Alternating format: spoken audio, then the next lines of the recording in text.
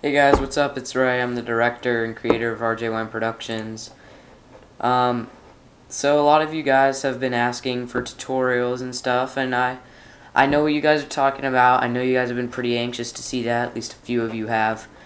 Um, so the first tutorial we're going to do today, this might, I might make this into a series of tutorials if this becomes, you know, super popular or something.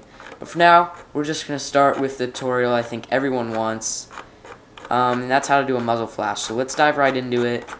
Um, right here we have all my videos I've made in the past. Some never made it onto YouTube, obviously, but uh, we're going to try to select the most basic video we can find here and uh, make a muzzle flash out of it. So I think that'll be pretty cool.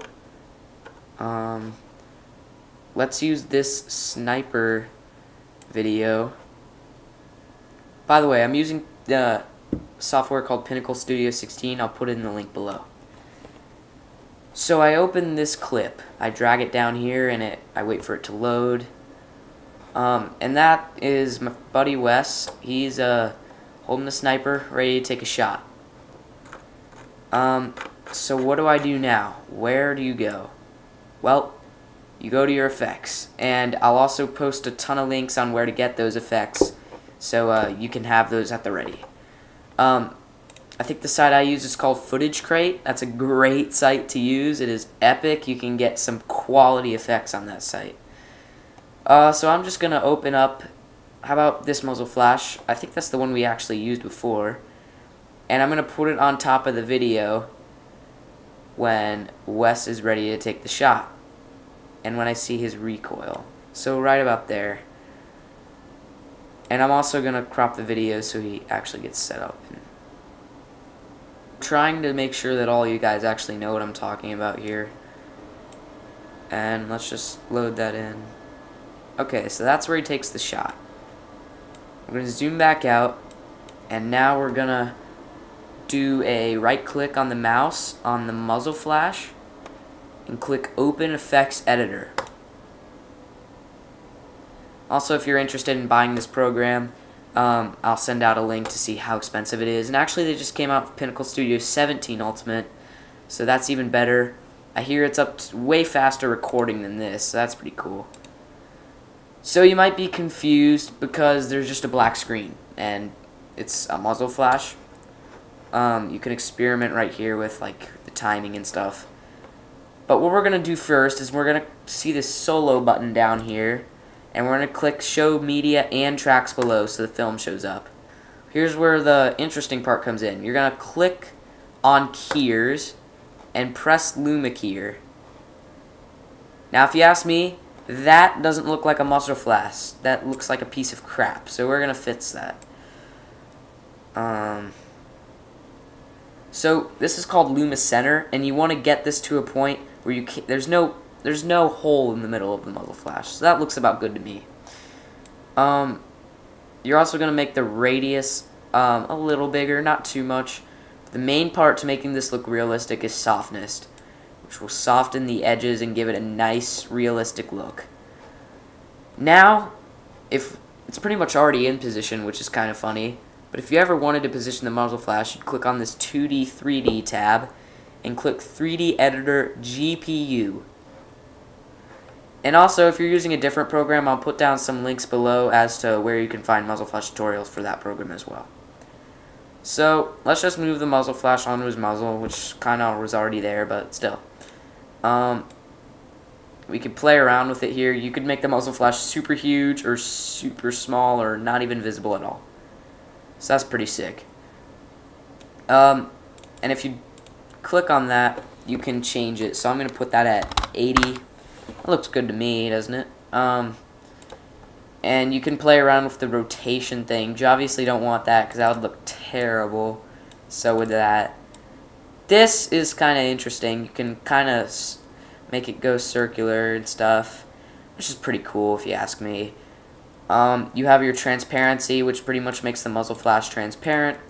Shadow cropping, but I just showed you the main things that you need to make a muzzle flash. And guys, that's almost it.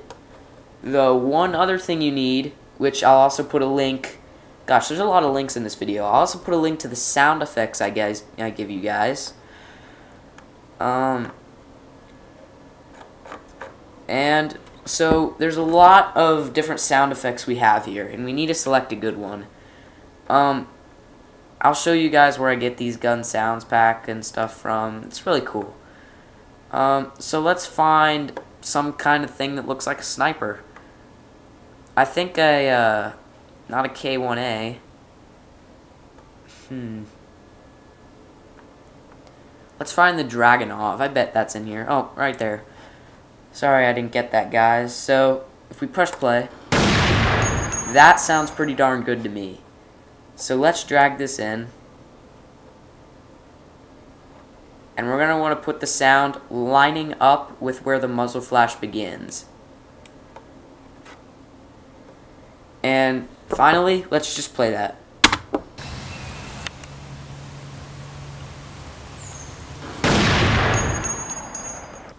Now, you're going to notice that muzzle flash was a little small. And everyone kind of makes mistakes like that anyways. Um, I think I'll play around with the softness with this a little. Make it a little more soft.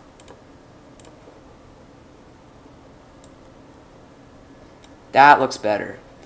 And I say we also make it a bit bigger. So let's go 120. You could just play around with this, get to be familiar with it. I love this program. It's great. Um, so, now let's look at it.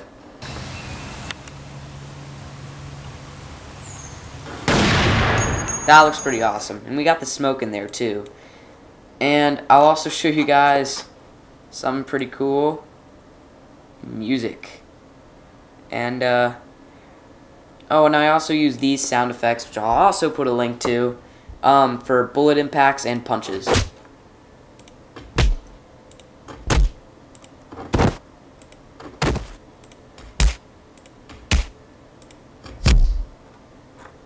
So that's pretty cool.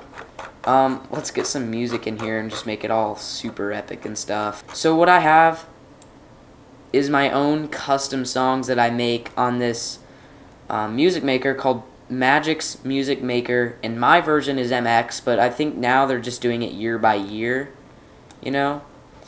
Um, so let's just find a good one. I've made a lot of songs over the past years. I think this one sounds pretty cool. That sounds pretty nice. This song is going to be huge. So before it starts loading and all that crud, you're just going to want to immediately crop it to the sound you want and uh, put it in there.